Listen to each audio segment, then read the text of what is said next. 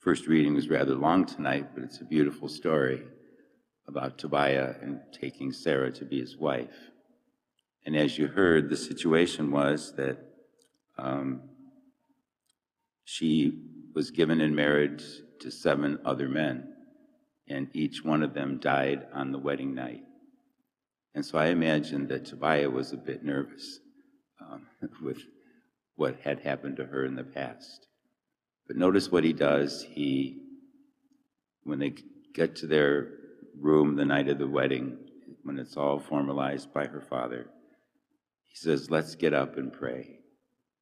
And the two of them pray from the depths of their heart, talking about how God created Adam and Eve to love and support one another, and talking about how great God is. And they ask the Lord to shower his blessings upon their love. And of course, they got up the next morning very healthy and very happy. And God did shower his blessings upon them. And we move to the gospel and we see that uh, Jesus is speaking about love as well. In the reading from, from Tobit, we're talking about married love, which is a very special kind of love, where two people commit themselves to one another for life. And in doing so, promise to love each other all the days of their life until death do them part. And it's a, it's a sign of God's love in the world. It's so total, it's so self giving, it's so complete, that it's very much like the love of God. And that's the vocation of married people to witness God's love in the world. We should look at married couples and say, see how they love each other? That's how much God loves us.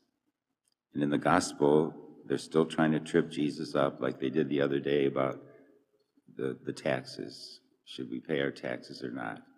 And Jesus, of course, says, give to God what's God's and to Caesar what's Caesar's.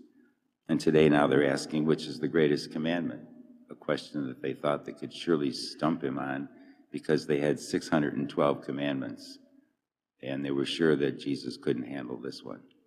But he does so so very beautifully as only Jesus can.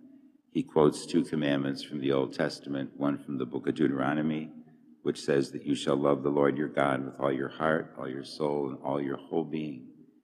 And the second is like it, love your neighbor as yourself, which is from the book of Leviticus in the Old Testament. The Lord was able to sum up all the commandments in two simple commandments love God above all things and your neighbor as yourself.